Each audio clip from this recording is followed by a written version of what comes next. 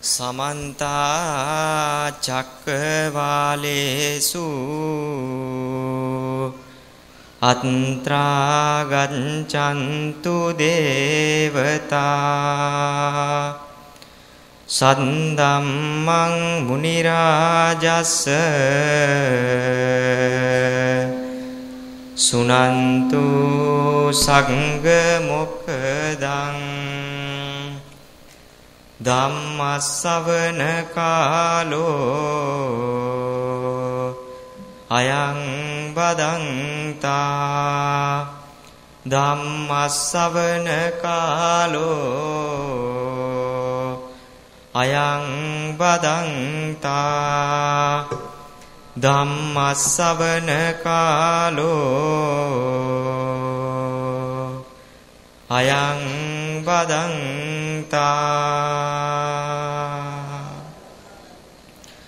නමෝ තස් භගවතෝ අරහතෝ සම්මා නමෝ තස් භගවතෝ අරහතෝ සම්මා නමෝ තස් භගවතෝ අරහතෝ සම්මා සම්බුද්දස්ස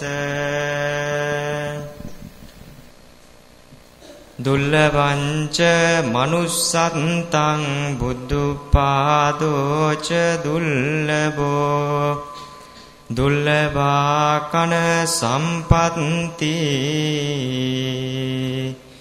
සද්දම්මෝ පරම දුල්ලබෝ එහෙම මේ ධර්මයේ දේශනා කරන්නට පෙර බුදුරජාණන් වහන්සේලා හාදුරු විදිහට අපට දක්වලා තියෙනවා පින්නතුන්ගේ මේ ධර්මයේ පිළිබඳව තමන්ගේ හිත හදාගන්න ධර්ම අවවාදයක් දෙන්න කියලා. මේ ධර්ම අවවාදයක් දෙන එකෙත් පින්වත්නි පින්නතුන්ට මම වැඩි කාල වේලාව ගන්නෙ නෑ මේ ධර්ම දේශනාව ආරම්භ කිරීම සඳහා කොහොම මේ ධර්මයේ පිළිබඳව දහම් මැසීමේ ආනිසංස පිළිබඳව පින්නතුන්ට මම බොහෝ වේලාව ගන්නෙ නෑ මේ කරුණු කාරණා මතක් කරන්න. මාසයක් පුරාවටම ඔබ බණ අහන්න ඉන්නේ හින්දා. කොහොමුණත් අපේ පින්නතුන් හැමෝම දන්න කාරණාවක් තමා බුදුහාඳුරෝ අපට කියලා තියෙනවා බුදුහාඳුරෝ අපට දේශනා කරලා තියෙනවා. මේ ලෝකේ දානයන් කොච්චර තිබ්බත් අපි දන්නවා මේ ලෝකේ එක එක දානයන් තියෙනවා. සාංගික දාන තියෙනවා ඒ වගේම ශ්‍රම දාන තියෙනවා විවිධ වූ දානයන් මේ ලෝකේ තියෙනවා. නමුත් බුදුරජාණන් වහන්සේ අපට දක්වන්නේ මේ ලෝකේ කොපමණ දානයන් තිබ්බත් මේ හැම දානයක්ම අභිභවා. ඉන්න දානයක් තමයි මේ ධර්ම දාන මේ පින්කම කියලා. ධර්මය අපි ශ්‍රවණය කරන්නේ මේ සසර ගමනේ තනියෙන් සැරිසරන පුද්ගලයෝ විදිහට සසර ගමනේ දරුවෝ ඒ වගේම අම්මා තාත්තා කොච්චර හම්බුණත් අවසානට ඔබ රැගෙන යන්නේ බුදුරජාණන් වහන්සේගේ දේශනාව තුල අපට දක්වන්නේ පිං සහ පව් පමණයි කියලා. ඒ වගේම තමයි මේ අතරතුර ඔබගේ ප්‍රඥාව වර්ධනය කරගන්නවා නම් අර බුදුරජාණන් වහන්සේ කිව්ව කෙලවර වීමේ අර්ථය මේ සසර ගමන මේ ලෝකයෙන් ගැලවීමේ අර්ථය ඔබට ඉතාමත් කෙටි කාලයකින් ළඟා කරගන්නට හැකියාව හම්බ වෙනවා. එහෙනම් පින්වත්නි මේ ධර්මානුශාසනාව මම මුලින්ම සඳහන් කරා වැඩි කාල වේලාව ගන්නෙ නෑ. පටන් ගන්න කියලා කොහොම නමුත් පින්වත්නි මේ ධර්මයේ ශ්‍රවණය කරද්දී තවත් එක් කාරණාවක් ඔබ හොඳින් දැනගෙන ඉන්න ඕන. මොකද්ද කිව්වොත් එහෙම බුදුහාඳුරෝ අපට පෙන්වලා දීලා තියෙනවා ධර්මය ඇතුලේ උන්වහන්සේගේ දේශනාව ඇතුලේ අපට දක්වලා තියෙනවා මේ බණ අහනවා කියන එකයි බණ අවබෝධ කරගන්නවා කියන එකයි දෙකක් කියලා. නමුත් හැබැයි බුදුරජාණන් වහන්සේ අපට පෙන්නනවා මේ බණ ඇහුවත් බණ අවබෝධ කරගත්තත් මේ දෙකේම ආනිසංස තියෙනවා කියලා. අපි අහලා තියෙනවා පින්වත්නි බුදුරජාණන් වහන්සේ අපට පෙන්වලා දීලා තියෙනවා මේ ධර්මයේ ඇතුලේ බුදුහාඳුරෝ එක්තරා අවස්ථාවක ධර්මයේ දේශනා කර කර ඉද්දී එක්තරා ගෙම්බෙක් බුදුරජාණන් වහන්සේගේ මధుර ස්වරයට වහවැටිලා එමත් නැත්නම් උන්වහන්සේගේ මේ මధుර ස්වරයේ මේ මිහිරි භාවය ඇහිලි ඉවර වෙලා උන්වහන්සේගේ කටහඬ පිළිබඳව ශ්‍රද්ධාවක් ඇති කරගෙන උන්වහන්සේගේ ශබ්දයේ පිළිබඳව ශ්‍රද්ධාවක් ඇති කරගෙන ඉවර වෙලා ඒ අවස්ථාවට පැමිණිය බුදුරජාණන් වහන්සේගෙන් බණ අහන්න ආපු ඉන්දියරේගේ කෝටුවකට පෑගිලා අන්තිමේදී මේ ගෙම්බා මැරිලා ගිහිලි වෙලා දිව්‍ය සම්පත් ලබනවා කියනවා. හිතන්න පින්වත්නි ඒ වගේ තිරිසනෙකුට බුදුරජාණන් වහන්සේ පෙන්වුව සතර අපායේ දුක් විඳින සතෙකුට ඒ වගේ උතුම් ඵලයක් හම්බුණා නම් ඔබ හිතන්න මේ ධර්මය අහනවා විතරක් නෙවෙයි ඔබ. ඔබට මේ ධර්මය අවබෝධ කරගන්නට හොඳ ප්‍රඥාවක් තියෙනවා. එහෙම නැත්නම් Tamanට හොඳ ප්‍රඥාවක් නැත්නම් මේ අවස්ථාවට කොහොමවත්ම පින්වත්නි බණ අහන්න එන්න විදිහක් නැහැ මේ පින්නතුන්. එහෙනම් මේ කරුණු කාරණාවන් පින්නතුන් මතකයේ තබා ගන්න ගමන් මම මේ ධර්මානුශාසනාව මෙතෙන් පටන් ආරම්භ කරන්නටයි බලාපොරොත්තු වෙන්නේ. පින්නතුන් අද දිනේදී මම කලින් සඳහන් කරා දින 30ක් පුරාවට පවත්වන්නට යෙදෙන මේ පින්කම් මාලාව ඉතාමත් වටිනා පින්කමක් කියලා මම මුලින්ම සඳහන් කරේ මම කලින් සඳහන් කරා පින්නතුන්ට ගාතාවක් දුර්ලභංච manussත්තම් බුද්ධෝපාදවච දුර්ලභෝ දුර්ලභා කණ සම්පatti සද්ධාම්මෝ පරම දුර්ලභෝ කියලා. දැන් බුදුහාඳුරෝ මේ ගාථාව ඇතුලේ අපට පෙන්වන්නේ මනුස්ස ආත්ම භවයක් ලබා ගැනීම දුර්ලභයි. දුර්ලභංච manussත්තම්. ඒ වගේම බුද්ධෝපාදවච දුර්ලභෝ බුදුරජාණන් වහන්සේ නමකගේ පහළවීම දුර්ලභයි. ඒ වගේම බුද්ධ පාදෝච දුර්ලභෝ දුර්ලභා කන සම්පatti. දුර්ලභා කන සම්පatti විදිහට බුදුහාරෝ පෙන්වන්නේ මෙතන. මේ පින්නතුන්ට හොඳින් හැකියාවක් හම්බෙලා තියෙනවා. එකතැන හොඳකට ඉඳගෙන ඉන්න පුළුවන් වෙන්න කොන්දට හොඳ හයියක් තියෙනවා. ඒ වගේම තමා මේ බණ අහන්න පුළුවන් වෙන්න ඔබට හොඳ කන් දෙකක් හම්බෙලා තියෙනවා. ඒ වගේම තමා තමන්ගේ මේ බුදුරජාණන් වහන්සේ පිළිබඳව ශ්‍රද්ධාවක් ඇති කරගන්න. ඒ වගේම තමා මේ ආදී වූ ධර්ම කාරණාවන්ට තමන්ගේ හිත යොමු කරන්නට ඔබට හොඳ ඇස් දෙකක් හම්බෙලා තියෙනවා. මෙන්න මේ කාරණාවන් වලට තමා බුදුහාඳුර අපට පෙන්වුවේ මේ ෂණ සම්පත්තිය කියලා. මේ මොකක් තිබ්බත් වැඩක් නැහැ පින්වත්නි තමන්ගේ හිතේ ප්‍රඥාව සසර ගමනේ වර්ධනය කරලා නැත්තම්. ෂණ සම්පත්තියට යත් අදාළයි කියලා බුදුහාමුදුරුවෝ අපට පෙන්වුවේ. අපි හැමෝම දන්නවා කවුරු හරි මානසික දුබලතාවයක් තියෙන පුද්ගලයෙක් හිටියොත් එයාට මේ කියන ධර්මය අවබෝධ කරගන්න අමාරුයි. නමුත් මෙතන ඉන්න එක පින්වතෙකුටවත් මං හිතන්නේ නෑ එහෙම ධර්මය අවබෝධ කරගන්නට තරම් අසීරුවක් තියෙනවා ඇති කියලා. අවසාන කාරණේ විදිහට බුදුහාමුදුරුවෝ අපට පෙන්වුවේ සද්ධම්මෝ පරම දුර්ලභෝ කියලා. මේ මොකක් දුර්ලභ වුණත් මේ හැම දෙයක් අතරම ගොඩාක්ම දුර්ලභ දේ විදිහට බුදුහාමුදුරුවෝ අපට පෙන්වුවේ මේ උතුම් වූ ශ්‍රී සද්ධර්මයේ. මේ පින්නතුන් ශ්‍රවණය කරන්නට යන උතුම් වූ සද්ධර්මයේ තමයි බුදුහාමුදුරුවෝ අපට පෙන්වුවේ මේ ලෝකයේ තියෙන දුර්ලභම කාරණේ විදිහට. එහෙනම් පින්වත්නි ඔබට මේ ධර්මානුශාසනාව පවත්වාගෙන යද්දී ඔබට පොඩ්ඩක් හරි වැටහෙයි. බුදුරජාණන් වහන්සේ මේ ගාථාව අපට දේශනා කරේ. ඇයි? බුදුරජාණන් වහන්සේ මෙච්චර මේ මනුෂ්‍යාත්ම භවයක් දුර්ලභයි. මෙච්චර මේ බුදුරජාණන් වහන්සේ නමක ඉපදීම දුර්ලභයි. ඒ වගේම සද්ධර්මයේ දුර්ලභයි ෂණ සම්පත්තිය දුර්ලභයි කියලා ඒ දේශනා කරන්නට යෙදුන හේතුන් ඔබට අවබෝධ වෙයි. අද දිනේ පින්වත්නි ධර්ම දේශනාව සඳහාම මාතෘකා වශයෙන් තබා ගන්නට යෙදුනේ මීට ස්වල්ප මොහොතකට ඉස්සෙල්ලා පින්නතුන් හවස බුදුන් නැන්දා. මේ බුදුන් නදින්දී අපි තුනුරුවන් මතක් කරනවා. මේ තුනුරුවන් මතක් කරද්දී අපට හම්බෙන පළවෙනි රුවණ එහෙමත් නැත්නම් පළවෙනි මණික තමා අපට හම්බෙන බුදුරජාණන් වහන්සේ. මේ බුදුරජාණන් වහන්සේගේ ඉතිපිසෝ ගාථාව තුළ ඔබ අප සියලුම දෙනා දන්නවා මේකේ වෙන මොනවත් නෙවෙයි තියෙන්නේ බුදුරජාණන් වහන්සේට ආවේනික වෙච්ච බුදුගුණ නවයක් තමයි මේකේ තියෙන්නේ කියලා. මේ පින්නතුන් මේට ටික දවසකට ඉස්සෙල්ලා පැය 12ක් පුරාවට ඒ ලොකු ආදරව විසින් දේශනා කරන්නට යෙදුන ධර්මානුශාසනාව ශ්‍රවණය කරන්නට ඇති. ඒ තුලින් මම හිතනවා පින්නතුන් දන්නව ඇති මේ බුදුගුණ නවය පිළිබඳව කියලා. කොහොමුණත් පින්වත්නි අද දිනේ මේ ධර්මානුශාසනාවට මාතෘකා වශයෙන් මම තබා ගත්තේ බුදුරජාණන් වහන්සේ තුල පැවති උන් වහන්සේටම ආවේනික වෙච්ච මේ ලෝකවිදු බුදු ගුණය. එමත් නැත්නම් උන් වහන්සේට මේ ලෝකයේ පිළිබඳව තිබ්බ ඥාණය උන්වහන්සේට මේ ලෝක ධාතු පිළිබඳව තිබ්බ ඥාණය උන්වහන්සේට මේ විශ්වය පුරා තිබ්බ ඥාණය පිළිබඳව පින්නතුන්ට ධර්මානුශාසනාවක් කරන්නට තමයි මාතෘකා වශයෙන් තබා ගත්තේ.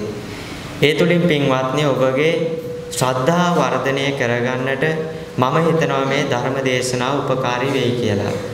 කොහොමුණත් පින්වත්නි බුදුරජාණන් වහන්සේ අපට දක්වනවා මේ ලෝකයේ මිනිසුන්ට සාමාන්‍ය පුද්ගලයෙක්ට හොයන්න බැරි කාරණා. බුදුරජාණන් වහන්සේ තරම් මේ ලෝකයේ පිළිබඳව ඥානයක් තිබ්බ. උන්වහන්සේ තරම් මේ ලෝකයේ පිළිබඳව අවබෝධයක් තිබ්බ තවත් උත්තමයන් වහන්සේ නමක් තවත් ශාස්ත්‍රුන් වහන්සේ නමක් අපට මේ සාහිත්‍ය තුලවත් ඉතිහාසය තුලවත් කොහෙවත් හම්බෙන්නේ නැහැ. ඇයි කිව්වොත් එහෙම බුදුහාඳුරු අපට විතක දක්වනවා මේ මාර්ගඵලයන් කියන කාරණාවන් තියෙන්නේ මගේ බුද්ධ ශාසනය ඇතුළෙන් විතරයි කියලා. ඒ කියන්නේ සෝවාන් සකෘදාගාමි අනාගාමි අරිහත් කියන මේ ගැලවීමේ අර්ථය ගැලවීමේ මාර්ග ටික තියෙන්නේ මේ බුදුරජාණන් වහන්සේ නමකගේ බුද්ධ ශාසනය තුලම විතරයි කියලා. ඒ බව පින්වත්නි අපට එක බුදු ගුණයක් කතා කරද්දිම තේරෙයි. දැන් බුදුරජාණන් වහන්සේගේ ලෝකවිදු බුදු ගුණය ගත්තොත් එහෙම මේ ලෝකවිදු බුදු ගුණය තුල බුදුහාඳුර අපට පෙන්වන්නේ උන්වහන්සේට උන්වහන්සේටම ආවේනික වෙච්ච ගුණයක් නෙවෙයි. මීට පෙර බුදු වෙන්නට යෙදුන බුදුරජාණන් වහන්සේලා ඒ වගේම මීට බොහෝ කාලයකට පෙර මීට වසර ගණනාවකට කල්ප ගණනාවකට පෙර බුදු වෙච්ච බුදුරජාණන් වහන්සේලාටද මේ වූ ගුණයන්ම තම ආවේනික උනේ කොහොමද පින්වත්නි මේ ලෝකවිදු බුදු ගුණය ගැන ගත්තොත් එහෙනම් බුදුහාඳුරෝ අපට සඳහන් කරනවා සාමාන්‍ය පුද්ගලයෙක් නම් කවදාවත් මේ ලෝක විශ්ය පිළිබඳව කොහොමද මේ ලෝකේ මෙච්චර දුර යන්නේ මේ අහස කොහෙන්ද කෙලවර වෙන්නේ? මේ ලෝකයේ පළවෙනියට පොළවද හටගත්තේ එහෙමත් නැත්නම් පළවෙනියට හටගත්තේ කිකිලිද විතරේද ඒ වගේ නොයෙක් නොයෙක් ප්‍රශ්න තියෙනවා පින්වත්නි මේ ලෝකයේ විශේෂ පිළිබඳව. කවුරු හරි හොයන්න යනවා නම් බුදුහාඳුරෝ කිව්වා මේ දේ නම් කවදාවත් හොයන්න එපා. මේ දේ හෙව්වොත් එහෙම කවදාවත් සාමාන්‍ය පුද්ගලයෙක්ට නම් මේක හොයාගන්න හම්බෙන්නේ නැහැ මේකේ කෙලවරක් හොයාගන්න හම්බෙන්නේ නැහැ ඒ මිනිස්සයා විපිලිසර භාවයට පත් වෙනවා. එහෙමත් නැත්නම් මහන්සි වෙනවා විතරයි යා මැරෙනකන්වත් එයාට කවදාවත් මේ ලෝක විශ්ය නම් තේරුම් ගන්න හම්බෙන්නේ නැහැ කියලා. ඒ වගේම තමා පින්වත්නි, ඒ වගේම කාරණියන්නේ දැන් බුද්ධ විශ්ය කියන්නේ. දැන් බුදුරජාණන් වහන්සේනේ අපට දැන් දක්වන්නට යන්නේ මේ සූත්‍ර ගණනාවක මේ ලෝක විශ්ය පිළිබඳව. ඒ විෂය පෙන්වන උත්තමයන් වහන්සේ නමක පිළිබඳව අපට කොහෙත්ම හැකියාවක් නැහැ උන්වහන්සේගේ ගුණ කදම්බය අපට දක්වන්නට බුදුරජාණන් වහන්සේ නමකගේ ගුණය කියන්න පුළුවන් පින්වත්නි තවත් එක් බුදුරජාණන් වහන්සේ නමකටම පමණයි. කවුරු හරි හොයන්න යනවනම් බුදුරජාණන් වහන්සේ කොහොමද ඉන්දියාවේ ලක්ෂයක් බණහල් ඉවර වෙලා 84000ක් මේ මාර්ගඵල ලැබුවේ කොහොමද? ඊට පස්සේ වෙලා කොහොමද බුදුහාඳුරෝ මේ ඒ මිය පරලොව යන්නට යෙදුන මහාමායා දේවිය අම්මට මාතෘ දිව්‍ය පුත්‍ර රාජයාට කොහොමද දිව්‍ය ලෝකෙට කියලා බණ කියන්නේ? ඊට පස්සේ ඉවර වෙලා කොහොමද මේ බුදුහාඳුරෝ මේ අපි අහලා තිනවා බුදුරජාණන් වහන්සේගේ මේ බුදු ගුණයක් තියෙනවා විද්‍යාචරණ සම්පන්න බුදු ගුණය කියලා. මේ විද්‍යාචරණ සම්පන්න බුදු ගුණය තුළ උන්වහන්සේ අපට දක්වන අෂ්ට විද්‍යාවන්. මේ අෂ්ට විද්‍යාවන් තුල තියෙනවනේ පින්වත්නි එක එක දේවල් උන්වහන්සේට හැකියාවක් තිබ්බා කියනවා උන්වහන්සේට හැකියාවක් බුදුරජාණන් වහන්සේලාට හැකියාව තියෙනවා කියනවා උන්වහන්සේලා යම්කිසි පුද්ගලයෙක් දැක්කොත් මේ පුද්ගලයාගේ මනෝමය කණ වෙන වෙනම හඳුන්වලා දෙන්න. ඒ වගේම තමා කොච්චර ප්‍රමාණයක දස දහසක් ලෝක ධාතු වලට එහා හිටියත් පින්වත්නි ඕනම මිනිස්සෙට බුදුහාඳුරු අදිෂ්ඨාන කරොත් මේ පුද්ගලයාට ධර්මය අහන්න පුළුවන් වෙන හැකියාවක්? උන්වහන්සේගේ මේ අෂ්ට විද්‍යාවන් තුල එන දිබ්බසෝත ඥාණයෙන් අනාවරණය වෙනවා. ඒ වගේම තමා කොහොමද මේ බුදුහාඳුරෝ දකින්නේ? අනිත් මිනිස්සුන්ගේ පෙර භවය. උන්වහන්සේගේ පෙර භවය කොහොමද දකින්නේ?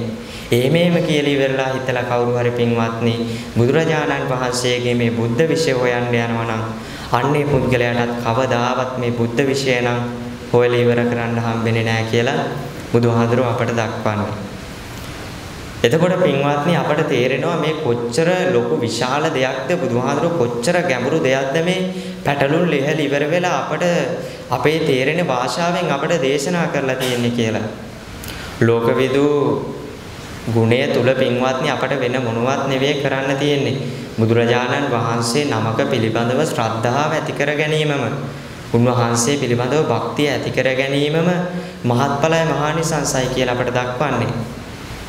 බුදුරජාණන් වහන්සේ පින්වත්නි එක්තරා අවස්ථාවක අංගුත්තර නිකායේ මේ සූත්‍රය එන්නේ අංගුත්තර නිකායේ ලෝක ධාතු විඤ්ඤාපන සූත්‍රය කියලා සූත්‍ර දේශනාවක් තියෙනවා. මේ සූත්‍ර දේශනාව ඇතුලේ එක්තරා අවස්ථාවක මේක අපට එන්නේ අංගුත්තර නිකායේ ආනන්ද වර්ගයේ ආනන්ද හාමුදුරුවන්ට තමයි මේ සූත්‍ර දේශනාව බුදුහාමුදුරුවෝ දේශනා කරන්නේ. එක වෙලාවක අහනවා බුදුරජාණන් වහන්සේගෙන් ආනන්ද හාමුදුරුවෝ මේ බුදුහාමුදුරනේ මේ ඔබ වහන්සේ මීට පෙර අපිට කියලා තියෙනව නේද? අපට දේශනා කරලා තියෙනව නේද? මේ සිකී කියලා බුදුහාඳුර කෙනෙක් හිටියා මේ බුදුහාඳුරන්ගේ අග්‍ර ශ්‍රාවකයන් වහන්සේ නමක් හිටියා අභිභූ කියලා. මේ අභිභූ කියන අග්‍ර ශ්‍රාවකයන් වහන්සේට හැකියාවක් තිබ්බයි කියනවා. උන්වහන්සේට මේ බලයක් තිබ්බයි කියනවා මේ දස දහසක් ලෝක ධාතු වලට ඇහෙන්නේ 이르දියෙන් කතා කරන්න. එහෙනම් බුදුහාඳුරනේ ඔබ වහන්සේට තියෙන බලය කොච්චරක්ද? ඔබ වහන්සේට කොච්චරක් දුරට මේ විශ්වයේ සත්වයන්ට ඇහෙන්න කතා කරන්න පුළුවන්ද කියලා. ඒ වෙලාවේදී බුදුහාඳුරෝ කියනවා පළවෙනි වතාවේ ආනන්ද ඒක අපට ගණනයක් කියලා නිම කරන්නට හැකියාවක් නැහැ. ඒ ගණන අනන්තයි අප්‍රමාණයි කියනවා. ඒක අපට ගණනකින් දක්වන්න හැකියාවක් නැහැ. බුදුරජාණන් වහන්සේට ඕන හැකියාවක් තිබ්බ පින්වත්නි මේ කෝටියයි කියන්න. කෝටි ඒව 1000ක් කියන්න. කෝටි ඒව 100ක් කියන්න. නමුත් ඊටත් එහා ගියපු හරියට මේක අපට පෙන්වන්නේ බුදුරජාණන් වහන්සේ ආසයි පොළොවයි වගේ පරතරයක්. රහතන් වහන්සේ නමකගේ බුදුරජාණන් වහන්සේ නමකගේ පළවෙනි බුදුගුණය ගත්තොත් එහෙම අරහම් බුදුගුණයම පින්වත්නි අපට දක්වන්නේ අහසයි පොළොවයි වගේ කියලා.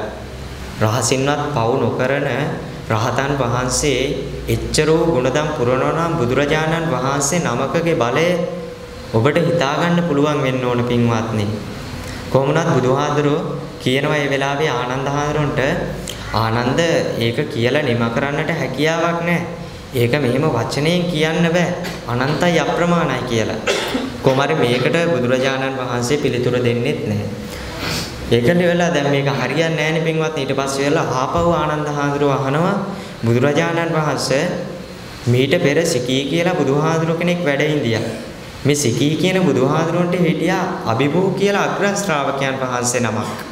මේ අග්‍ර ශ්‍රාවකයන් වහන්සේට හැකියාවක් තිබ්බයි කියනවා දසදහසක් ලෝක ධාතු වලට ඇහෙන්න ධර්මයේ දේශනා කරන්න උන්වහන්සේගේ මේ ධර්මයේ හඬ සත්වයන්ට පැතිරෙන්නට දසදහසක් ලෝක ධාතු වලට පැතිරෙන්නට හැකියාව තිබ්බ ඔබ වහන්සේට කොච්චරක් ඇහෙන්න බණ කියන්න පුළුවන්ද ධර්මයේ දේශනා කරන්න පුළුවන්ද කියලා අහනවා. ඒ වෙලාවේදී ආපහු කියනවා පින්වත්නි බුදුහාදරෝ මේ ආනන්ද ඒක අපිට කවදාවත් කියලා නිම කරන්න හැකියාවක් හම්බෙන්නේ නැහැ. බුදුරජාණන් වහන්සේ නමකගේ ගුණය තථාගතයන් වහන්සේ නමකගේ ගුණය අනන්තයි අප්‍රමාණයි.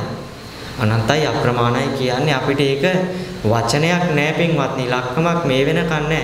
අපි දන්නවා මේ ලෝකේ අපට හම්බෙනවා ඉලක්කම් ධනප ධනවත් පුද්ගලයෝ ගත්තොත් එහෙම අදටත් ඉන්නවා ඒ අපට කෙලවර කරලා තියෙන ඒ ධනය සම්පූර්ණ කරපු නැති කට්ටිය.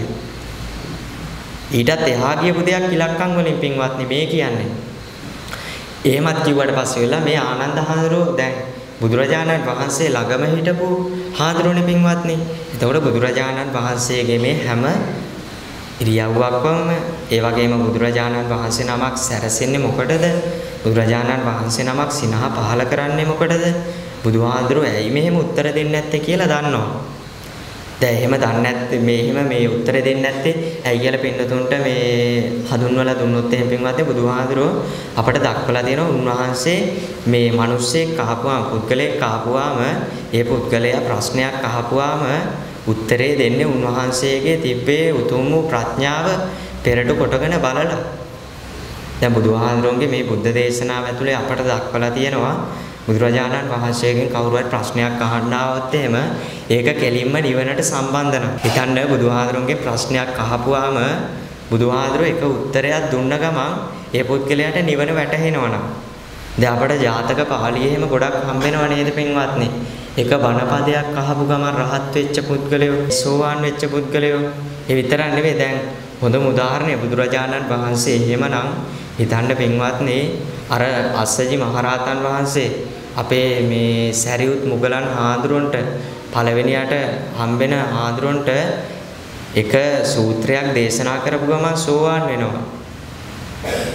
එතකොට හිතන්න ඕන ඔබ බුදුරජාණන් වහන්සේ මේ දක්වන්නේ මොකද්ද කියලා බුදුහාඳුරන්ගේ ළඟට කවුරු හරි ආපුවාම ප්‍රශ්නයක් ඇහුවොත් එහෙම ඒ ප්‍රශ්නෙට පළවෙනියටම උත්තරේ දුන්න ගමන් එයාට නිවන් අවබෝධ වෙනවා නම් බුදුහාඳුරෝ එක ප්‍රශ්නෙම්ම ඒ උත්තරේ දීලා ඉවර කරනවා.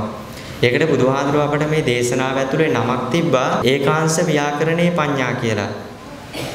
ඒ වගේම තමයි බුදුහාඳුරෝ තවත් කාරණයක් පෙන්වනවා අපට බුදුහාඳුරෝ ළඟට කවුරු හරි ප්‍රශ්නයක් විසඳන්න ආපුවාම ප්‍රශ්නයක් ගෙන ආපුවාම ඉවරලා උන්වහන්සේ තවත් ක්‍රමයකට මේක ඒ කට්ටියට විසඳලා දෙනවා. කොහොමද කිව්වොත් එහෙම ඒකට කියනවා විභජ්‍ය ව්‍යාකරණේ පඤ්ඤා කියලා. මේ විභජ්‍ය ව්‍යාකරණේ පඤ්ඤා කියන්නේ බුදුරජාණන් වහන්සේගෙන් කවුරු හරි ප්‍රශ්නයක් ඇහුවාම ඒ ප්‍රශ්නය තුළින් මේ පුද්ගලයාට මේ නිවන කරා යන්නට හැකියාවක් හම්බෙනවා හොඳින් තේරුම් ගන්න ඕන කාරණයක් තියෙනවා පින්වත්නි බුදුරජාණන් වහන්සේලා දේශනා කරන්නේ මේ නිවනට යන මාර්ගය විතරයි. වෙන වටේ තියෙන දේවල් උන්වහන්සේලාට අදාළ නැහැ. එච්චර කැපකිරීමක් කරලා බුදුරජාණන් වහන්සේ නමක් බුදු වුණේ ධර්මයේ දේශනා කරන්නනේ. එතකොට ඔබ දැනගන්න ඕන පින්වත්නි මේ බුදුරජාණන් වහන්සේ දීලා තියෙන ප්‍රශ්නවල මේ ප්‍රශ්නවලට උත්තර දීලා තියෙන ආකාරය කිසිම ආකාරයකින් අසාධාරණයක් නැහැ. උන්වහන්සේ ඊටාම සාධාරණයි. ඒක අපි හැමෝම දන්න කාරණයක්. කොහොමද පින්වත්නි මේ පුද්ගලයෙක් ආපුවා මේ පුද්ගලයාට නිවනට ඒක උපකාරී වෙනවනම් බුදුරජාණන් වහන්සේ කරන්නේ කොටස් වශයෙන් බෙදලා ඉවර වෙලා අන්නේ පුද්ගලයාට අවශ්‍ය කරන දහම් අවවාද දීලා ඉවර වෙලා ඒ පුද්ගලයාට නිවන අවබෝධ කරනවා. ඒකට බුදුහාඳුරෝ කිව්වා විභජ්‍ය ව්‍යාකරණේ පඤ්ඤා කියලා. ඊට පස්සේ වල තව මේ කාරණයක් පෙන්වනවා පින්වත්නි මේ පටිපුච්ච ව්‍යාකරණේ පඤ්ඤා කියලා. මේ තුලින් බුදුහාඳුරෝ පෙන්වන්නේ අපිට බුදුරජාණන් වහන්සේ නමක ළඟට කවුරුන් හෝ ආවොත් එහෙම ප්‍රශ්නයක් විසඳ ගන්න. අපි අහලා තියෙනවා නේද පින්වත්නි සූත්‍රවල බුදුහාඳුරෝගේ ප්‍රශ්නයක් අහන්න ආපුවාම බුදුහාඳුරෝ යාගෙන් ප්‍රශ්නයක් අහනවා. බුදුහාඳුරෝ යාගෙන් ප්‍රශ්නයක් අහලා අහලා ඒ අවශ්‍ය කරන ඒ අර්ථය ආවට පස්සේ ඇත්ත ආවට පස්සේ ඉවරලා බුදුහාඳුරෝ ඒක නිමිති කරගෙන ඉවරලා ධර්මයේ දේශනා කරනවා. ඒකට බුදුහාඳුරෝ කිව්වා පටිපුච්ච ව්‍යාකරණේ පඤ්ඤා කියලා. ඊට පස්සේ පින්වත්නි මේ තවත් කාරණයක් තියෙනවා. දැන් අපි මේ කතා කරපු සූත්‍රය ඇතුලේ දැන් අපි කතා කරේ ලෝක ධාතු විඤ්ඤාපන සූත්‍රයනේ. මේ සූත්‍රය දැන් ඔන්න පළවෙනි වතාවෙත් බුදුහාඳුරුන්ගෙන් ඇහුවා ආනන්දහාඳුරු. ඒත් උත්තරයක් දුන්නේ නැහැ නේද?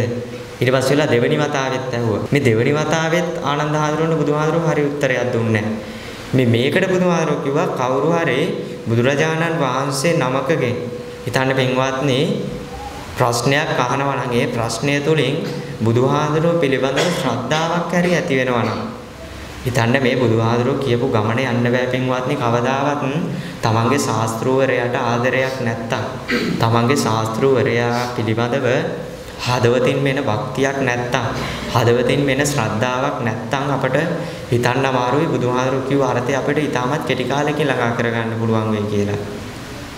කොහමද බුදුහාඳුරෝ පෙන්නනවා කවුරු හරි ප්‍රශ්නයක් අහනවා නම් ඒ තුලින් ඒ පුද්ගලයා පිළිබඳව බුදුරජාණන් වහන්සේ පිළිබඳව හරියි ධර්මයේ පිළිබඳව හරි සංඝ රත්නයේ පිළිබඳව හරි ශ්‍රද්ධාවක් ඇති වෙනවා අඩුම ශ්‍රද්ධාවක් හරි ඇති වෙනවා බුදුහාඳුරෝ ඒ පුද්ගලයාටත් උත්තර දෙනවා කියලා කියනවා ඊට පස්සේ වෙලා පින්වත්නි මේ තවත් කාරණයක් තියෙනවා පින්නතුන් මේ බුදුහාඳුරගේ ප්‍රශ්න දෙන කාරණේ නම් මේ ධර්ම දේශනාවන් මේ දින කීපයේ මුළුල්ලේම ශ්‍රවණය කරන ඉඳ අහලා ඇති මේ තපණීය පඤ්ඤා කියලා එකක් තියෙනවා. තපණීය ව්‍යාකරණේ පඤ්ඤා කියලා පින්වත්නි. බුදුහාමුදුරුවෝ බුදුදහම ඇතුලේ අපට දක්වලා තියෙනවා කරුණු 10ක් උන්වහන්සේගෙන් අහන්න එපා කියලා. මේ ලෝකය අනිත්‍යද? මේ ලෝකය නිට්ටයද? ඒ ආදී වූ කරුණු 10ක් තියෙනවා. හිතන්න පින්වත්නි බුදුහාමුදුරුවන්ගේ කවුරු හරි දෙයක් ඇවිල්ලා ඇහුවොත් එහෙම මෙතන කවුරු හරි බණ අහයිදී එයාටත් වැඩක් නැති මේ කාටවත් වැඩක් නැති ප්‍රශ්නයක් අහනවා. දැන් මම කලින් කිව්වේ අර මේ කිකිලිදි බිත්තරේ දාවේ කියලා පළවෙනියට හොයනවා වගේ දෙයක් පින්වත්නි හොයනවා නම් බුදුහාරෝ ඒ වගේ දෙයකට උත්තරයක් දීලා වැඩක් නැහැ නේ ඇත්තටම. ඒ වගේ දෙයකට අපි වුණත් උත්තරයක් දෙන්න යන්නේ නැහනේ. පළවෙනියට කාට හරි ප්‍රශ්නයක් ආවොත් එහෙම මේ පළවෙනියට දැන් අතීතයට ගිහිල් ඉවර වෙලා සීයා මැරුවොත් එහෙම මේ කාට හරි මේ එහෙම බලයක් හම්බෙලා ඒ වුණොත් එහෙම අපි නෑ නේද? අන්න ඒ වගේ ප්‍රශ්න කාට හරි එනවනම් ඒව ඇත්තටම මේ පිළිතුරු දීලා වැඩක් නෑ කියලා බුදුහාරෝ දේශනා කරේ. අයියේ අර ගැළවීමේ අර්ථයට යන්නේ නෑ. ඒ පුද්ගලයා මේ ලෝකයේ තුලම හැසිරීලා ඉවර වෙලා මේ ලෝකයේ තුලම යටපත් වෙනවා අර දේ හොය හොයා ඉඳලාම හින්දා. කොහොම හරි පින්වත්නි මේ බුදුහාඳුරෝ මේ ආනන්ද හාඳුරෝ මෙහෙම කිව්වට පස්සේ ඉවර වෙලා දැන් ආනන්ද හාඳුරෝ තුන්වෙනි වතාවෙත් බුදුහාරෝගෙන් අහනවා. බුදුරජාණන් වහන්සේ සිකී කියලා බුදුරජාණන් වහන්සේ නමක් වැඩ ඉඳියා මේ බුදුරජාණන් වහන්සේට හිටිය අග්‍ර ශ්‍රාවකයන් වහන්සේ නමක් අභිභූ කියලා. දැන් මේ අභිභූ කියලා මේ අග්‍ර ශ්‍රාවකයන් වහන්සේ බලාගෙන ගියපුවම පින්වත්නි මේ අපේ මුගලන් හාඳුරෝ වගේ. ඒ කිව්වොත් ඒ මුගලන් හාඳුරුත් අපිට ධර්මයේ හම්බෙනව නේද? මේ එක්තරා අවස්ථාවක මේ විශ්වයේ කෙලවර හොයන්න මේ මුගලන් මහරහතන් වහන්සේ ගිහිල්ලා මේ විශ්වය තුල අතරමං වුණා කියනවා. ඒකල වෙලා බුදුහාරුන්ගේ බුද්ධ ඥාණයෙන් තමයි උන්වහන්සේට ආපහු පාර කිව්වා කියන්නේ. අන්න ඒ වගේ මේ ශ්‍රාවකයන් වහන්සේ නමක් වෙන්න පුළුවන් පින්වත්නි. කොමාරි මේක තුන් වතාවක්ම ඇහුවට පස්සේ ඉවර වෙලා බුදුහාඳුරෝ ඔන්න දැන් උත්තර දෙන්න ගන්නවා. ආනන්ද මේ බුදුරජාණන් වහන්සේ නමකට තියෙන මේ ඥාණය මේ ලෝක විශ්ය පිළිබඳව තියෙන ඥාණය ඔන්න දැන් හරියට අහගන්න කියලා ඉවරලා ඔන්න දැන් බුදුහාඳුරු කියනවා. දැන් අපි හැමෝම දන්නවා පින්වත්නි මේ ලෝකයේ තුල 6 4 කියලා එකක් තියෙනවා. 6 කියන්නේ දිව්‍ය ලෝක 6ක් තියෙනවා. ඒ දිව්‍ය ලෝක 6 තියෙනවා. ඒ වගේම තමයි අපායවල 4ක් තියෙනවා. මනුස්ස ලෝක එකක් තියෙනවා. බුදුහාඳුර මේ සූත්‍රය ඇතුළත දක්වනවා මේ හිරු සඳු පවතින වටා හිතන්න පින්වත්නි හිරු සඳු අපට ලැබෙන පරතරය තුල මේ පරතරය තුල තියෙනවයි කියනවා සත්වතල 31ක්. ඒ 31 විදිහට බුදුහාඳුර දක්වන්නේ අපට පළවෙනියට දක්වනවා සතර අපාය. ඒ වගේම තමයි බුදුහාඳුර අපට තවත් දේ පෙන්වලා දෙනවා අපි හැමෝම දන්නවා ඔය කාමාචර දිව්‍ය ලෝක. ඊට පස්සේ ඉවර වෙලා අපට මනුස්ස ලෝකමේ හැම ධාතුවකටම එකයි පින්වත්නි තියෙන්නේ. එකම එක දෙයයි අපිට බුදුහාරු පෙන් බ්‍රහ්ම ලෝක අරූපාවචර බ්‍රහ්ම ලෝක කියන්නේ මොකද්ද කිව්වොත් එහෙම මේ අරූපාවචර බ්‍රහ්ම ලෝක පින්වත්නි අපිට හතරක් දක්වනවා. මේ හතර ඇතුලේ ඉපදෙන්නේ අපි අහලා තියෙනව නේද? මේ ආකින්චඤ්ඤායතනය, නේව සංඥායතනය, ඥා සංඥායතනය, ඒ ආදී වූ ඒ යෝගීන් ඒ පරතරයට ගියපු කට්ටිය තමයි මේ අරූපාවචර බ්‍රහ්ම ලෝකවල ඉපදෙන්නේ. ඒ වගේම තමයි රූපාවචර බ්‍රහ්ම ලෝක අපට පෙන්වනවා 16ක්. මේ 16 ඇතුළත ඉපදෙන්නේ පළමුවෙනි ධානය, ඒ වගේම දෙවෙනි ධානය, තුන්වෙනි ධානය, හතරවෙනි ධානය ආදී මේ ධානයන් අවබෝධ කරගෙන හිටපු පුද්ගලයන්. ඊට පස්සේ වෙලා අපට පළවෙනියට රූපාවචර ලෝක 16යි, ඒ වගේම අරූපාවචර ලෝක 4යි, ඒ වගේම දිව්‍ය ලෝක 6යි, ඒ වගේම අපායවල 4යි, මනුස්ස ලෝක 1යි ගත්තම තල 31යි පින්වත්නි. ඊට පස්සේ වෙලා බුදුහාඳුරෝ කියනවා මේ තල 31 වැඩි කරන්න කියනවා මේ 31 ඒවා 31කුයි හිරු සඳු. හිරු සඳුයි මේ දෙක ගත්තම මේක අපිට පේනවනේ පින්වත්නි. එතකොට හිරු සඳුත් එක ගත්තම මෙතන 33ක් විතර එනවනේ. මේ මේ ආදී වශයෙන් සත්ව තල තියෙන ඒවා 1000ක් හිතන්න කියනවා බුදුහාඳුරෝ. බුදුරජාණන් වහන්සේ අපට පළවෙනියට පෙන්වලා දෙනවා මේ ලෝක ධාතු විඤ්ඤාපන සූත්‍රය ඇතුලේ පළවෙනියට පින්වත්නි මේ සත්වතල 18 බුදුහාඳුරෝ කිව්වේ ඔන්න ඔකට තමා ආනන්ද චූලනිකා ලෝක ධාතුව කියන්නේ. හිතන්න පින්වත්නි දිව්‍ය ලෝක හයේව 1000ක්. එතකොට අපායේව 1000ක්. මේ වගේම මනුස්ස ලෝක 1000ක්. රූපාවචර බ්‍රහ්ම ලෝක තවත් 16ව 1000ක්. ඊට පස්සේ වෙලා අරූපාවචර බ්‍රහ්ම ලෝක හතරේව තවත් 1000ක්. මෙහෙම හිතන්න කිව්වා මේකට පළවෙනියට කිව්වා බුදුරජාණන් වහන්සේ චූලනිකා ලෝක ධාතුව කියලා. දැන් මේ චූලනිකා ලෝක ධාතුව පින්වත්නි ආපහු ආනන්ද හාමුදුරන්ට කියනවා මේක ආපහු පින්වත් ආනන්ද මේ 10000න් වැඩි කරන්න කියලා. 10000න් වැඩි කරාට පස්සේ ඉවර වෙලා එන ගාන ඔබට හිතා ගන්න පුළුවන් පින්වත්නි මේ එකතු කරන්න නෙමෙයි කියන්නේ ಗುಣ කරන්න. වැඩි කරන්න කියන්නේ.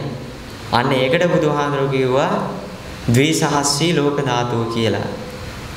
ඒකල ඉවර වෙලා මේ ද්විසහස්සී ලෝක ධාතුව දැන් 1000 වැඩි කරානේ පින්වත්නි 10000 මේ 10000න් වැඩි කරලා ඉවර වෙලා මේ ද්විසහස්සී ලෝක ධාතුව වැඩි කරන්න කියනවා බුදුහාඳුරෝ ආපහු 10000කින් මේ 10000 දැන් 10000කින් වැඩි කරාට පස්සේ ඉවර වෙලා ඒකට බුදුහාඳුරෝ කිව්වා ත්‍රිසහස්සී ලෝක ධාතුව කියලා දැන් එතකොට හිතෙන්න ඕන පින්වත්නි පළවෙනියට මේ බුදුහාඳුරෝ කිව්වේ අපට චූලනිකා ලෝක ධාතුව කියලා මේ පළවෙනි 1000ට ඒක liverලා ඒ 1000 තවත් 10000කින් වැඩි කරාට පස්සේ අපට කිව්වා ද්විසහස්‍රී ලෝක ධාතුව කියලා. ඒක liver වෙලා ආපහු ඒකත් 10000කින් වැඩි කරාට පස්සේ වෙලා බුදුහාඳුරෝ ආපහු කිව්වා ත්‍රිසහස්‍රී ලෝක ධාතුව කියලා. මේ ත්‍රිසහස්‍රී ලෝක ධාතුව තමයි පින්වත්නි අපි ඔය ගොඩක් ඔය අහලා තියෙන්නේ මේ කෝටියක් සක්වල කියලා. මේ කෝටියක් සක්වල කියන එකට තමයි බුදුහාරෝ ත්‍රිසහස්‍රී ලෝක ධාතුව කියන්නේ. ඊට පස්සේ ඉවර වෙලා තමයි පින්වත්නි බුදුහාරෝ බුදුරජාණන් වහන්සේගේ මේ ලෝක ඥාණය උන්වහන්සේට මේ ලෝක විෂය තුල තිබ්බ ඥාණය අපට පැහැදිලි වෙන්නේ. දැන් බුදුහාඳුරෝ කියනවා උන්වහන්සේට උන්වහන්සේ ප්‍රාර්ථනා කරොත් එහෙම උන්වහන්සේට හැකියාවක් තියෙනවා මේ පළවෙනියටම චූලනිකා ලෝක ධාතුවට හිතුනොත් එහෙම චූලනිකා ලෝක ධාතුවටම පුද්ගලයන්ට බණහඬ ශ්‍රවණය කරන්නට දෙන්නට හැකියාවක් තියෙනවා. ඒ වගේම උන්වහන්සේට හැකියාවක් තිබ්බොත් එහෙම උන්වහන්සේට හිතුනොත් එහෙම ද්විසහස්‍රී ලෝක ධාතුවේ මේ හැම දිනාටම මම බණ කියන්න ඕන කියලා උන්වහන්සේට ඒකත් කරන්නට හැකියාවක් තියෙනවා. ඊට පස්සේ ඉවර වෙලා පින්වත්නි බුදුහාඳුරෝ පෙන්නනවා අපිට මේ කෝටියක් සක්වල අර ත්‍රිසහස්‍රී ලෝක ධාතුව කියන්නේ අපිට දැන් ගණන් කරන්න බැරි තරමේ ප්‍රමාණයක් ඇවිල්ලා තියෙන්නේ. මේ ගණන් කරන්න බැරි තරමේ ප්‍රමාණයට පින්වත්නි බුදුහාඳුරෝ කියනවා බුදුරජාණන් වහන්සේ නමකට හිතුනොත් උන්වහන්සේ නමක් අදිෂ්ඨාන කරොත් එහෙම මේ කෝටියක් සක්වලට මුණත් උන්වහන්සේට හැකියාවක් තියෙනවා ධර්මයේ දේශනා කරන්න කියලා.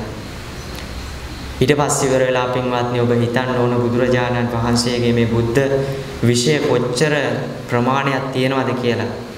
අවසාන වශයෙන් අපට මේ මේ සූත්‍ර දේශනාවේදී බුදුහාඳුරෝ දක්වනවා මේ කොහොමද මේ දෙවියන්ට මේ ඒ වගේම මේ මිනිසුන්ට ධර්මයේ දේශනා කරන්න කියනවා නම් බුදුරජාණන් වහන්සේ නමක් මේ දෙවි කෙනෙකුට එහා ගියපු ආලෝක ධාරාවක් නිකුත් කරනවයි කියනවා මේ විශ්වය පුරා. මේ විශ්වය පුරා මේ ආලෝක ධාරාව නිකුත් කරද්දි ඉවරලා දෙවියන් අවබෝධ කරගන්නවා. දෙවියන් දැනගන්නවලු මේ බුදුරජාණන් වහන්සේ නමකගේ මේ රශ්මි ධාරාවක් තියෙන්නේ කියලා. එහෙම හිතලා ඉවර වෙලා පින්වත්නි, ඒ කට්ටිය අදිෂ්ඨාන කරගත්තට පස්සේ වෙලා බුදුහාඳුරෝ කියන එක බුදුරජාණන් වහන්සේ කියන එක හරියට මේ ළඟ ඉඳලා ධර්මයේ දේශනා කරනවා වගේ ඇහෙනවයි කියලා ඉවරලා බුදුහාමුදුරුවෝ මේ සූත්‍ර දේශනාව ඇතුළේ දක්වනවා. එහෙම දැක්කුවට පස්සේ ඉවරලා පින්වත්නි මේ ආනන්ද හාමුදුරුවෝ සාදු සාදු සාදු කියලා ඉවර වෙලා අනේ මගේ බුදුරජාණන් වහන්සේ මෙච්චර බලයක් තියෙනවයි නේද? මට නම් ඇත්තටම මේ බුදුහාමුදුරුවන්ගේ කතාව ඇහුවට පස්සේ මගේ ඇඟ කිලිපොලා ගියා කියලා කියනවා බුදුහාමුදුරුවෝ. දැන් ඊට පස්සේ ඉවරලා පින්වත්නි මේ මේ සූත්‍ර දේශනාව ඇතුලේ තවත් හොඳ කාරණයක් තියෙනවා පින්නතුන්ට හිතන්න. මේ දේවදත්ත හඳුරුන්ගේ පාර්ශවයේ හිටියන පින්වත්නි. දැන් අපට ශ්‍රද්ධාව ප්‍රධාන වශයෙන් කාරණා දෙකකට බෙදලා දක්වනවානේ. අකාරවතී ශ්‍රද්ධාව කියලා එකක් තියෙනවා අමූලික ශ්‍රද්ධාව කියලා තව එකක් තියෙනවා. මේ අමූලික ශ්‍රද්ධාවෙන් කරන්නේ වෙන මොකක්වත් නෙවෙයි.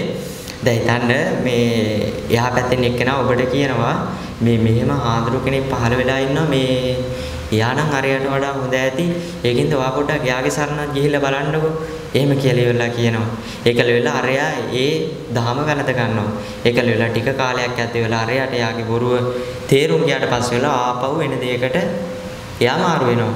එහෙම නෙවෙයි පින්වත් මේ ආකාරවතී ශ්‍රද්ධාව විදියට බුදුහාරෝ දැක්වේ බුදුරජාණන් වහන්සේ පිළිබඳව. දැන් හිතන්න මේ සූත්‍ර දේශනාව දක්වන්නේ වෙන මොකක්වත් නෙවෙයි බුදුරජාණන් වහන්සේ පිළිබඳව ශ්‍රද්ධාවක් ඇති කරගන්න එකනේ. නැත්තම් බුදුහාරෝ කිව්වනේ අපට ලෝක විශ්ය පිළිබඳව හොයන්න එපා සාමාන්‍ය පුද්ගලයෙක්. බුද්ධ විශ්ය පිළිබඳව හොයන්න එපා කියලා ශ්‍රද්ධාව ලුප්පන්න තමයි බුදුහාරෝ මේ සූත්‍ර දේශනාව අපට දක්වලා තියෙන්නේ. කොහොම හරි මේ මෙද්දී මේ ආනන්ද හාමුදුරන්ට තියෙන අකාරවතී ශ්‍රද්ධාවනේ ඒක අපිට හොඳටම තේරෙනවා. නැත්නම් ඉතින් එච්චර ගෞරවයක් දෙන්න විදියක් නැහැනේ. මොකද උන්වහන්සේ මාර්ගඵලයක් ලබන්නෙත් නැතුව කොහොම හරි ඉවර වෙලා පින්වත්නි බුදුරජාණන් වහන්සේ පිළිබඳව මෙහෙම ලොකු සතුටක් ඇති කරගත්තාට පස්සේ ආනන්ද හාමුදුරුවෝ එතන ළඟ ඉන්නවා දේවදත්ත හාමුදුරුවන්ගේ යාළු හාමුදුරුවෝ කෙනෙක් උදායි කියලා. මේ උදායි හාමුදුරුවෝ කියනවලු මේ ඉතින් ආනන්ද මේ දැන් බුදුහාඳුරන්ටනේ ඔය ලොකු හැකියාව තියෙන්නේ. ඉතින් මේ ඔයා මොකද මේ ඔච්චර සතුටු වෙන්නේ? ඔයා මොකද මේ උඩ ගිහිල්ලා තියෙන්නේ? අන්න ඒ වගේ අද කාලේ කියනවා වගේ ඒ කාලෙත් පින්වත්නි බුදුරජාණන් වහන්සේගේ බුද්ධ ශාසනයක් තිබ්බා කියලා නෑ. ප්‍රඥාව නැති වුණොත් අවිද්‍යාව ඒ පුද්ගලයාගේ ඔළුවේ ගොඩක් මේ දුරලුවොත් එහෙම මේ ප්‍රඥායස පොඩ්ඩක් හරි වර්ධනය කරලා තිබ්බේ නැති නෝත් එහෙම අර බුදුහාරෝ ඉපදෙච්ච ශාසනයක හිටියත් වැඩක් නැහැ. කොහමද උදායි හාමුදුරුවෝ එහෙම කිව්වට පස්සේ වෙලා බුදුහාමුදුරුවෝ කියනවා මේ උදායි එහෙම කියන්න එපා ඔයා. මේ ආනන්ද බැරි වෙලාවත් මේ රහත් වෙන්නේ නැතුව හිටියානම් දැන් හිතන්න අපි දන්නවනේ ආනන්ද හාමුදුරුවෝ බුදුරජාණන් වහන්සේගේ පරිණිරවාණයෙන් පස්සේ උතුම් රහත් ඵලය ලබා ගත්තා කියලා.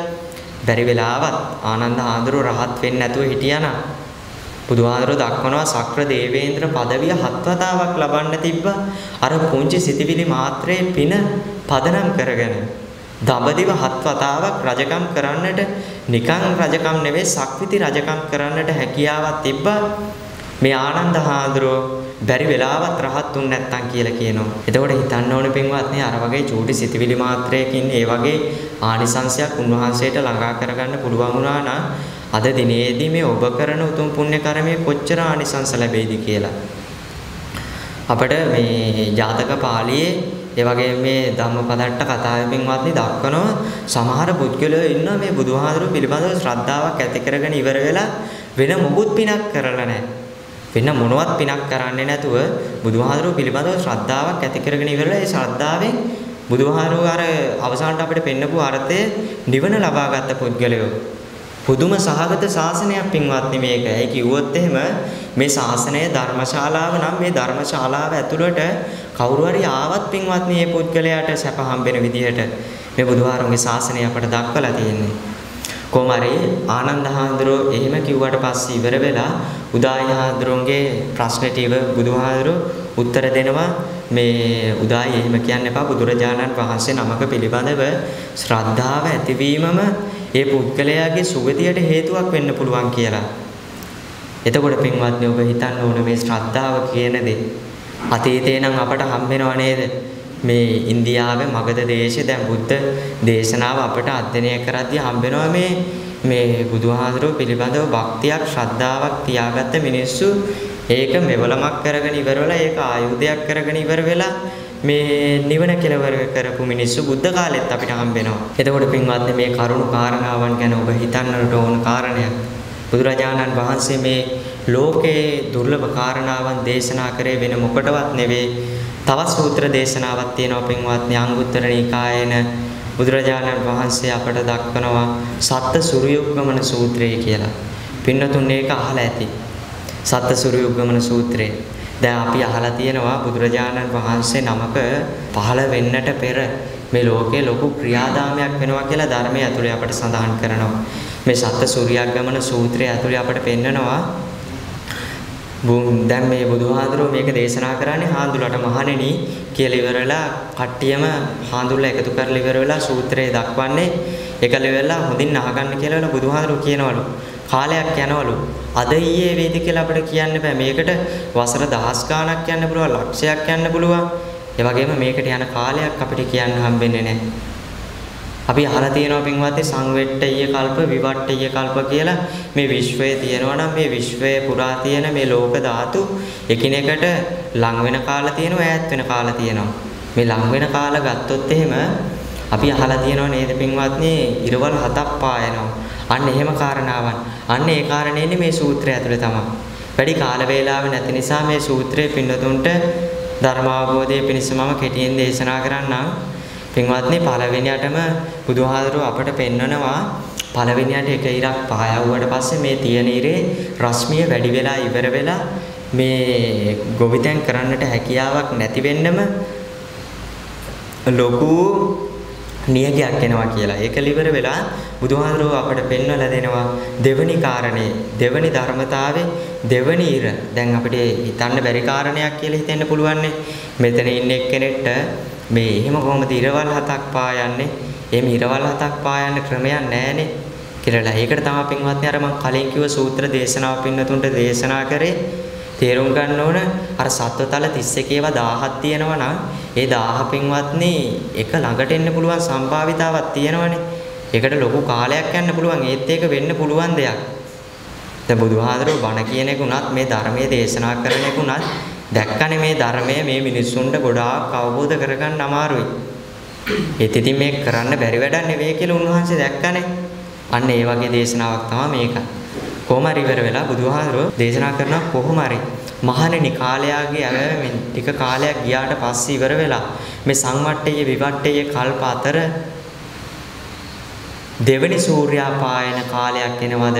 ඒ දෙවනි සූර්යා තුලින් මේ ලෝක ධාතුව තුල යම්තාක් පුද්ගලයෝ වගා කරන ගංගා තියෙනවා. ගංගා නෙවෙයි. පුංචි ඇලදොලවල්, පුංචි ගංගා. ඊට පස්සේ වෙලා පුංචි ඇලදොලවල්. මේ හැම එකක්ම හිඳිලා යනවායි කියනවා දෙවෙනි සූර්යා පෑයුවාට පස්සේ. ඒක liver වෙලා පෙන්වත්නි තුන්වෙනි සූර්යා පෑයුවාට පස්සේ බුදුහාඳුරුව අපට පෙන්නනවා තුන්වෙනි සූර්යා පායනවත් එක්කම ටික කාලයක් ගියාට පස්සේ ඉවර වෙලා අපි අහලා තියෙනව නේද පින්වත්නි බුදුහාරුන්ගේ කාලේ බුද්ධ දේශනාවන් ඇතුලේ අපට දක්වනවා එක එක මේ ලොකු ගංගා පංච මහා ගංගාවන්. මේ සරවු ඊට පස්සේ ඉවර වෙලා අචිරවතී ගංගාව. ඒ ආදී මේ ගංගාවන් මේ ගොවිතැනක් කරන්නට හැකියාවක් හම්බෙන්නේ නැති තරමට හිඳී යනවා කියලා කියනවා. ඒ පින්වත්නි තුන්වෙනි ඉර පායනවත් එක්ක. එකල බුදුහාඳුරෝ කියනවා හතරවෙනි ඉර පායනවත් එක්කම මහණෙනි මේ ලෝක ධාතුව තුල තියෙනවා යම්තාක් යම් අයුරකින් මේ පංචමහා ගංගාවන් පූර්ණේ කරන්නා වූ විල් තියෙනවා. අපි ගත්තොත් එහෙම විල් අපිට හම්බෙනවා අනෝතත්ත විල, ඒ වගේම විවිධ වූ විල් හම්බෙනවා. දැන් මේ මේ රට වගේ අපි ගත්තොත් එහෙම මේ සමහර විල් අපට තියෙනවා පින්වත්නි මේ ලෝකේ අපි හොයාගෙනවත් අපි දන්නේවත් නැතිව සමහර විට අපිට අහම්බෙන් ඒක ඇහෙන්නේ. සමහර විල් තිබ්බා කියනවා මේ අපේ මේ රට වගේ 3-4 ගුණයක් ලොකු තාම තියෙනවායි කියනවා. අන්න ඒ වගේ මේ විල් මේ හැම එකක්ම හිඳිලා යනවා කියනවා බුදුහාඳුරෝ. හතරවෙනි සූර්යා පායනවත් එක්කම. ඒක ඉවර වෙලා පින්වත්නි දැන් ඔබ හිතා ගන්න ඕන මේ කාරණේ වෙද්දි ඉවර වෙලා මේ බුදුරජාණන් වහන්සේගේ මේ දේශනාව ඇතුලේ හරියට බැලුවොත් එහෙම දෙවෙනි සූර්යයා තුන්වෙනි සූර්යයා පායද්දී මේ මනුස්ස ලෝකේ මිනිස් පුලුටක්වත් තියෙන්න විදිහක් නැහැ. ඒ කිව්වොත් එහෙම ගංගා නැතුව කොහෙන්ද පින්වත්නි ජීවත් වෙන්නේ? අන්න ඒ වගේ කාරණාවක්. අපට මේ පස්වෙනි සූර්යයා පායනවත් එක්කම මේ මහා සාගරය මහා සාගරයේ පින්වත්නි අපට බුදුහාරු දක්වන ගොප්පැටයක් තරම් ගොප්පැටයක් කියන්නේ මේ මේ චූටි මේ පොඩි ධාන්‍යයටයක් තරම් පොගව ගන්නවත් තරම් නැති මේ මහ මුහුද හිඳෙනවයි කියනවා. හිතන්න පුළුවන් දෙයක්ද පින්වත්නි? ලෝක සිටියේ මරන් බලන්නකො. ලෝක සිටියේ මරන් බලද්දී අපිට ගොඩක්ම පේන්නේ මේ ගොඩබිමට වැඩිය ගොඩක්ම අපට පේන්නේ ඇත්තටම මහා සාගරය. ඒක මන් හිතන විදිහට මේ ඒක තමයි ඇත්ත. අපි දක්වලා තියෙන්නේ මේ මහ පොළොවට වැඩිය මහා සාගරය ගැඹුරුයි කියලා. මේ ගැඹුරු තැන පින්වත්නි ඔබ හිතන්න ගොප්පැටයක් පොගව ගන්න තරමටවත් වතුර නැති වෙනවා නම් ඔබ හිතන්න මේ ලෝකේ කොච්චර අස්තීරයිද කියලා. එහෙම වෙනවයි කියනවා පින්වත්නි. එතකොට මේ මනුස්ස එක පුලුටක්වත් නෑ මේ මනුස්ස ලෝකේ. කොහොම කොහොම හරි ගිහිල්ලා ඉවරලා ඕක පින්වත්නි ලස්සනට සූත්‍රයත් සූත්‍රය ඇතුලේ අපිට මේ බුදුහාඳුරෝ දේශනා කරලා තියෙනවා මේ තල්ගස් 6 අප්‍රමාණයට මේ වතුර අඩු වෙනවා ඊට පස්සේ ඉවරලා තල්ගස් 8 අප්‍රමාණයට මේ වතුර අඩු වෙනවා. ඔහොම ඔහොම දක්වලා තියෙනවා. කොහොම හරි ඉවර වෙලා මේ පස්වෙනි සූර්යයාත් පෑයුවාට පස්සේ ඉවර වෙලා හයවෙනි සූර්යයා පායනවා කියනවා. මේ හයවෙනි සූර්යයා පායනවත් එක්කම පින්වත්නි මේ පෘථුවිය අපි ගත්තොත් එහෙම මේ පින්නතුන් දැකලා ඇති මොකක් හරි මැටි වාජනයක් රත් වෙද්දී බුදුහාමුදුරුවෝ මේක අපට දක්වන්නේ හරියට මැටි කලයක් රත් කරද්දී ඒ මැටි කලය තුලින් අපට පෙනෙනවා ආලෝකයක් රතු පාට. මේ රතු පාට ආලෝකයේ වගේ මේ ලෝක ධාතුව දැවෙනවා. එහෙමත් නැත්නම් මේ රස්නෙන් මේ ඒ රස්නෙන් දැවෙනවායි කියලා බුදුහාරෝ මේ හයවෙනි සූර්යයා තුලින් අපට දක්වනවා. ඒක ලෙවල පින්වත්නි අවසාන සූර්යයා පායනවත් එක්කම හත්වෙනි සූර්යයා පායනවත් එක්කම බුදුහාඳුරු දේශනා කරනවා මේ ලෝක ධාතුව තුල මොකක්වත් හොයාගන්න හම්බෙන්නේ නැහැ. හැම කෑල්ලක්ම මේ පෘථුවිය තුල පුපුරලා පුපුරලා ගිහිල්ලා ඉවර වෙලා මේ එක ලෝකයක්වත් ඉතිරි වෙන්නේ නැහැ. මේක බුදුහාඳුරුව අපට සඳහන් කරනවා මේ ලෝකේ විනාශ වෙන පරතරය තුල පින්වත්නි මේකේ තියෙන කම්පණය හිතන්න අපි මොකක් හරි දෙයක් පිපුරුවොත් එහෙම මේ කම්පණය තුල මේ තුලින් මේ තියෙන ලෝකයන් මේ බොහොමයක් ප්‍රමාණයක් විනාශ වෙනවා කියලා.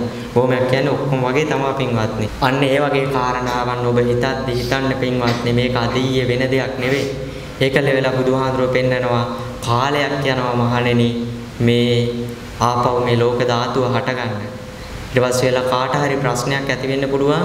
දැන් මේ මෙච්චර කල් මේ හිටපු මිනිස්සු දැන් මේ බුදුහාඳුරෝ කියනවා නම් මේ නිවනෙන්ම මේ බුදුහාඳුරෝ කිව්ව අර්ථය ළඟා කරගන්න ඕන නිවනෙන්ම අපි කෙලවර වෙන්න ඕන කියලා හිතනවා නම් කාට හරි හිතෙන්න පුළුවන් එහෙනම් මේ එක මිනිහෙක්වත් මේ ලෝකේ නැත්තම් මේ මුළු විශ්වයම විනාශ වෙලා නම් එහෙනම් මේ කට්ටිය කොහෙද ඉන්නේ කියලා ඉවරලා දිව්‍ය ලෝකෙකුත් නැත්තම් අන්න ඒක බුදුහාඳුරෝ දක්වනවා පින්වත්නි තවත් එක් සූත්‍ර දේශනාවක මේ දීඝනික දීඝනිකායේ අග්ගඤ්ඤ සූත්‍රය කියලා සූත්‍ර දේශනාවක් පින්නතුන්.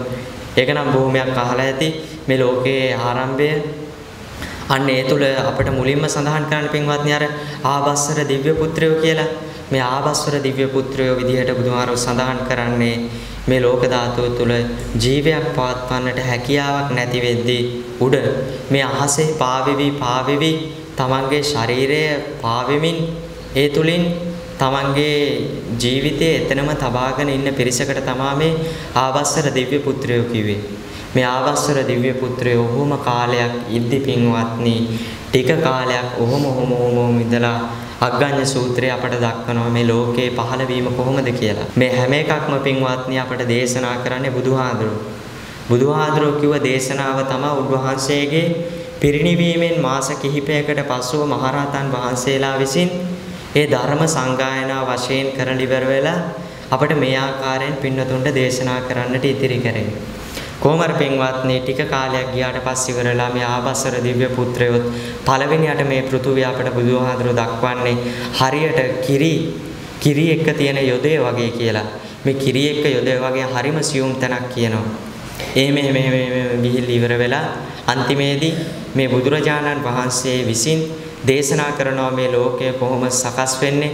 ඒකල් ඉවර වෙලා බුදුහාඳුරෝ පෙන්නනවා අපට කොච්චර කාලයකින්ද අපට බුදුහාඳුරෝ කෙනෙක්ගේ බණක් ඇහෙන්නේ. කොච්චර කාලෙකින්ද බුදුහාඳුරෝ කෙනෙක්ගේ මේ ධර්මය අපට ඇහෙන්නේ. හිතන්න පින්වත්නි අද ඊයේ වෙන දෙයක් නෙවෙයි මේ කල්ප විනාශය කියන්නේ. බොහෝ කාලයක් යන්න පුළුවන් නමුත් වෙන්න තියෙන වැඩක්. බුදුරජාණන් වහන්සේ නමක කොච්චර කාලයකින් ආපහු මේ ලෝකේ බිහි වෙයිද කියලා අපි දන්නේ නැහැ. හම්බෙච්ච හොඳම අවස්ථාවෙන් ප්‍රයෝජන ගන්න එක තමයි බුද්ධිමතුන් විදිහට ඔබට කරන්නට තියෙන හොඳම ධර්ම කාරණේ. හිතන්න පින්වත්නි ඔබට මම අද දිනේදී මේ සූත්‍ර දෙකකට අධික ප්‍රමාණයක් මේ පින්නතුන්ට ප්‍රථම වශයෙන් අවබෝධය පිණිස දේශනා කරා. ඒ වගේම තමයි අග්ගඤ්ඤ සූත්‍රය තුලින් පින්නතුන්ට දේශනා කරන්නේ මේ ලෝකයේ සකස් වීම, ඒ වගේම බුදුරජාණන් වහන්සේ නමක පහළ වීම කොච්චර දුර්ලභද කියලා තේරුම් ගන්න තමයි මේ ධර්ම කාරණාවන් බුදුහාමුදුරුවෝ අපිට පෙන්වන්නේ. දැන් මේ ඔක්කොම කිව්වේ බුදුහාමුදුරුවනේ පින්වත්නි. එතකොට ඔබ හිතන්න ඕන බුදුරජාණන් වහන්සේ නම සාමාන්‍ය පුද්ගලයාට මෙහෙම හොයන්න එපා කිව්වේ ඇයි? දැන් ඔබට තේරෙනව නේද පින්වත්නි? පළවෙනි ලෝක ධාතු විඤ්ඤාපන සූත්‍රය තුලම ඔබට හිතන්න පුළුවන්ද? දැන් මෙච්චර කාලයකට පින්වත්නි සෞරග්‍රහ මණ්ඩලයෙන් එහාට මේ අර බුදුහාරෝ කිව්ව මේ චූලනිකා ලෝක ධාතු වෙනකන් හොයාගත්ත පුද්ගලයෙක්වත් අද අපිට හොයාගන්න නැහැනේ එතකොට බුදුහාරු කිව්වේ ඇත්තක් කියලා වෙලා අපිට තේරෙනව නේද? අන්න එහෙනම් පින්වත්නි අපිට තියෙන වෙන මොකක්වත් නෙවෙයි බුදුරජාණන් වහන්සේ පෙන්වලා දුන්න මේ ඇත්ත පිළිබඳව අවබෝධ කරගන්නට ඔබට ප්‍රඥාව අඩුයි නම් පින්වත්නි ඔබ බුදුරජාණන් වහන්සේ පිළිබඳව ඊමා ශ්‍රද්ධාවක හරි ඇති කරගන්නවා නම් ඊමහත් භක්තියක හරි ඇති කරගන්නවා නම් අර බුදුරජාණන් වහන්සේ උදායි හාමුදුරන්ට කිව්වේ පින්වත්නි ආනන්ද හාමුදුරන්ට හත් වතාවක් සක්‍ර දේවේන්ද්‍ර পদවිය ලබන්නට තිබ්බා දඹදිව සක්විති රජ পদවිය හත් වතාවක් ලබන්න තිබ්බා කියලා මේ සක්විති රජ পদවිය ලබන්නට සාමාන්‍ය පුද්ගලයෙට බෑ පින්වත්නි. ඔහු ඒකාන්ත වශයෙන්ම පන්සිල් ආරක්ෂා කරන ධර්ම රාජ්‍ය දිග්විජය කරපු ඒ උතුම් වූ රජෙක් තමා සක්විති රජා විදිහට අපට දක්වන්නේ. එහෙනම් ඔබට අවබෝධයක් එන්න ඕන පින්වත්නි බුදුරජාණන් වහන්සේ පිළිබඳව ශ්‍රද්ධාවක ඇති කර ගැනීමම ඔබට මේ උතුම් වූ නිවන අවබෝධ කරගන්නට ශක්තියක් ධෛර්යයක් වේවි කියලා. භක්තිය කියන්නේ පින්වත්නි ඔබගේ හදවත තුලින් වෙන්න ඕන දෙයක්. අපට එදිනෙදා ජීවිතේ හම්බෙනව නේද? මේ තවත් පුද්ගලයෙක් කියනවට කියලා වෙලා මේ බණ අහනවා තවත් කෙනෙක් කිව්වට මේ ධර්මය ශ්‍රවණය කරනවා තවත් කෙනෙක් කිව්වට භාවනා කරනවා ඇත්තටම පින්වත්නි බුදුරජාණන් වහන්සේ පෙන්වුවේ ඒකේ ලොකු අර්ථයක් ඒකේ අනිවාර්යෙන් ආනිසංස තියෙනවා බුදුහාරෝ පෙන්නලා දුන්නානේ හැම එකම ආනිසංස තියෙනවා බුදුරජාණන් වහන්සේගේ ශාසනය ඇතුලේ කියලා. නමුත් අර හරි අර්ථය ළඟා කරගන්නට නම් ඒක පින්වත්නි අපගේ හදවත තුලින්ම කරන්නට ඕන දෙයක්. ඒක තමන්ගේ ජීවිතයට තමන්ගේ ජීවිතයට හදවත හදවතට මේ භක්තිය කියන එක හදවතින් මෙන්න ඕන එකක්.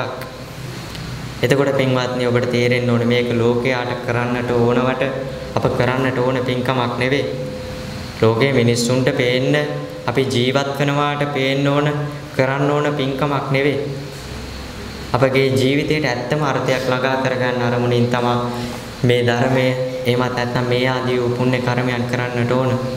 එහෙනම් පින්වත්නි ඔබ හොඳින් අවබෝධ කරගන්නට ඇතයි කියලා හිතනවා මම බුදුරජාණන් වහන්සේට මේ ලෝකයේ පිළිබඳව තිබ්බ බුද්ධ ඥානය පින්නතුන්ට මේ දේශනා කරේ හරියට ගත්තොත් මේ පින්වත්නි බුදුරජාණන් වහන්සේට මේ ලෝකයේ පිළිබඳව තිබ්බ ඥානයෙන් දැන් අපි බණක් කියද්දී පළවෙනියටම කියන්නේ 84000 ධර්මස්කන්ධයෙන් අවමල් රේණුකතරම් පුංචි ප්‍රමාණයක් කියනවා කියලානේ මේකත් ඒ වගේම තමයි පින්වත්නි අර වගේ ලොකු ප්‍රමාණයකින් බුදුහාඳුරන්ගේ මේ ලෝක විදූ ඥානය පිළිබඳව අවමල් රේණුකතරම් පුංචි ප්‍රමාණයක් කිව්වා වගේ දෙයක් තමයි පින්වත්නි දැන් මමත් පින්නතුන්ට දේශනා කරේ.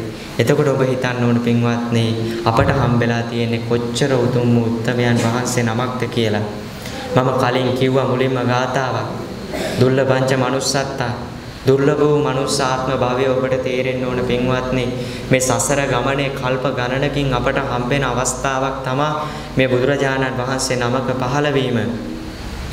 තවතිසා දිව්‍ය ලෝකේ අපට දක්වන්නේ ඒ දිව්‍ය වර්ෂවලින් ඒ අවුරුදු 100ක් කියන්නේ අපි ගත්තොත් එහෙම මෙහි පින්වත්නි අවුරුදු 100ක් විදිහට දැක්ුවේ එක දිව්‍ය දවසක්.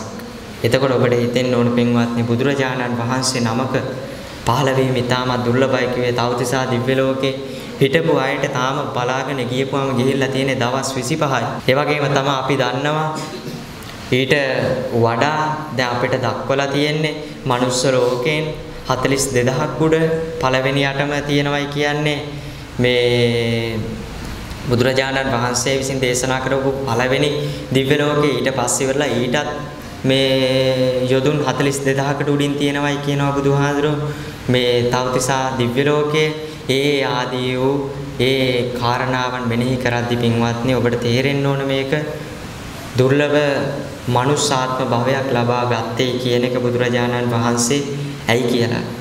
ඒ වගේම තමා ඔබට හිතෙන්න ඕන ෂණ සම්පත්තියක් ඔබට ලැබුණේ ඇයි කියලා. ඒ වගේම තමා ඔබට හිතෙන්න ඕන පින්වත්නි මොන දේ තිබුණත් හිතන්න බුදුරජාණන් වහන්සේ පිරිනිවන් පාල ඉවර වෙලා අද ඉන්දියාවේ ධර්මයේ නැති වෙද්දී ඔබට ධර්මය අහන්නට හැකියාවක් හම්බෙනව වසර 2500ක් යන තැනත් ඒ වෙන මොකක්වත් නිසා නෙවෙයි බුදුරජාණන් වහන්සේගේ ඒ බුද්ධ ඥානය නිසාමයි. අපේ පින්නතුන්ගේ වාසනාව නිසාමයි. නැත්තම් පින්වත්නි බුදුරජාණන් වහන්සේ මෙබඳු උතුම් වූ බුද්ධ දේශයක බුදුහාඳුරෝ අවසාන වශයෙන් දේශනා කරලා තියෙනවයි කියනවා සූත්‍ර වල මේ අපගේ මේ බුද්ධ ශාසනය ඉතිරි වෙන්නට නම් මේ සම්බුද්ධ ශාසනය ඉතිරි වෙලා තියෙන්නේ මේ ආදී උතුම් වූ ප්‍රඥා අපට තේරෙන කාරණයක්. ඇයි කිව්වොත් එහෙම මෙතන ඉන්න හැමෝම අද දිනේදී හොඳින් බණ ඇහුවා. ඒ වගේම තමයි මං හිතනවා මේ දින කීපයේ මුළුල්ලේම දැන් ධර්ම දේශනාවන් පහක් නිමාවට පත්වන තැන තවත් ස්වල්ප මොහොතකින් මේ ධර්මානුශාසනාව ඉවර කරන්නටයි මම බලාපොරොත්තු වෙන්නේ. අභිවාදන සීලිස නිච්ඡම් වදාපචායිනෝ චත්තාරෝ ධම්මා වඩ්ඩಂತಿ ආයුවන්නෝ සුකම් බලං ආයුරාෝග්‍ය සම්පatti සග්ග සම්පatti මේවච අතෝ නිබ්බාන සම්පatti. ඉමිනාතේ සමිච්ඡතු.